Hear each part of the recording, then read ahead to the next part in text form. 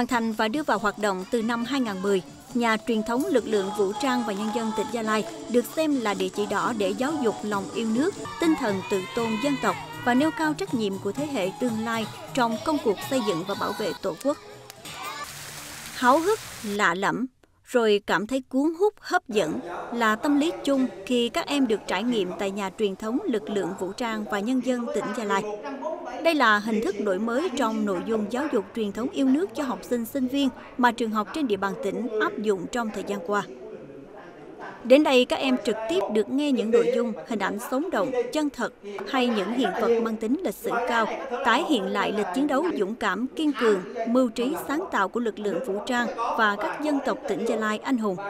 Đây cũng là nơi nghiên cứu giáo dục về mục tiêu lý tưởng truyền thống quân đội nói chung, lực lượng vũ trang tỉnh nói riêng về 79 năm xây dựng, chiến đấu và trưởng thành qua các thời kỳ chiến tranh, chống thực dân Pháp, chống đế quốc Mỹ cứu nước, truy quét tàn quân Phunro.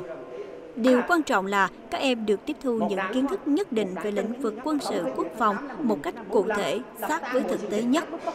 Nhờ đó mà chúng em biết được sự hy sinh và sự cực khổ của những người đã hy sinh của thế hệ đi trước. Những, có những câu hỏi khó, mai sau có những câu hỏi khó chúng em sẽ giải đáp được nhờ những cái chuyến đi này. Là em rất là vui khi được uh, tham quan lực lượng vũ trang nhân dân tỉnh Gia Lai và học được rất là nhiều điều mới. À, như như là các uh, trận đánh lịch sử. Em rút ra được bài học là muốn là được làm điều gì đó thì phải cần cù và cố gắng. Để lưu giữ hơn 1.000 hiện vật 20 bộ sưu tập hiện vật các loại được trưng bày trong và ngoài trời đảm bảo bố cục trình bày khoa học logic tái hiện rõ nét thành quả trong suốt chặng đường 79 năm xây dựng, chiến đấu và trưởng thành. Lực lượng vũ trang và các dân tộc tỉnh Gia Lai, đội ngũ cán bộ, nhân viên nhà truyền thống không ngừng nghiên cứu, duy tu, bảo dưỡng hiện vật một cách tỉ mỉ, cẩn thận nhất.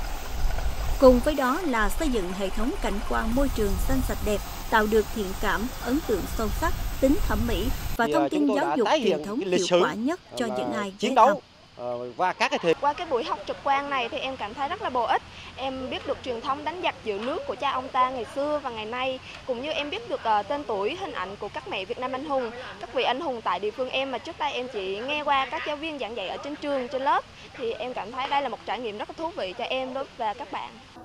Trong hành trình tìm lại sự hy sinh của chính mình, đoàn cựu quân nhân sư đoàn 307 quân khu 5 đã dừng chân tại nhà truyền thống lực lượng vũ trang và nhân dân tỉnh Gia Lai. Tại đây đã lưu lại những ký ức không thể nào quên của chiến trường năm xưa và cũng tại đây những kỷ vật, những bia tưởng niệm các anh hùng liệt sĩ đã phần nào giúp những cựu quân nhân vơi đi nỗi nhớ, niềm thương về những đồng đội đã hy sinh vì nghĩa vụ quốc tế cao cả và càng thêm tự hào về giá trị của sự hy sinh vì độc lập, tự do và phát triển hôm nay. Thì mình rất cảm động đã đến nơi này. Nhà truyền thống của lực lượng vũ trang tỉnh Gia Lai đã có những cái thành tích mà đã đưa liệt sĩ hôm đây và nhà truyền thống lực lượng vũ trang của tỉnh Gia Lai đã cho chúng tôi một buổi chiều thăm lại Bác Hồ thăm lại những chiến tích của tỉnh Gia Lai ngày xưa từ thời chống Pháp tới bây giờ. Như là nhà tù Buôn Mê Thuật này, con người nông dân yêu nước của chúng ta cũng như là những sĩ phu yêu nước. Tôi thấy rằng là các bạn là phát triển rất nhanh và có một cái ờ, tập trung cao độ để xây dựng cái nhà truyền thống và trưng bày như thế là quá tốt và chúng tôi rất hài lòng và thấy rằng là liệt sĩ hy sinh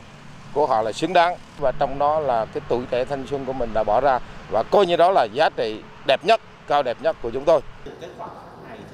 Những buổi tham quan như thế này chắc chắn sẽ là một kỷ niệm khó quên về chủ nghĩa anh hùng cách mạng, về lòng yêu nước, tinh thần tự tôn dân tộc và sẽ trở thành hành trang nâng bước các em hướng đến những điều tốt đẹp ở tương lai. Đời ấy các em sẽ học tập, lao động, trở thành những công dân mẫu mực và đây còn là nơi gặp gỡ của hành trình tìm lại sự hy sinh của chính mình, của cha ông ta trong công cuộc xây dựng và bảo vệ Tổ quốc.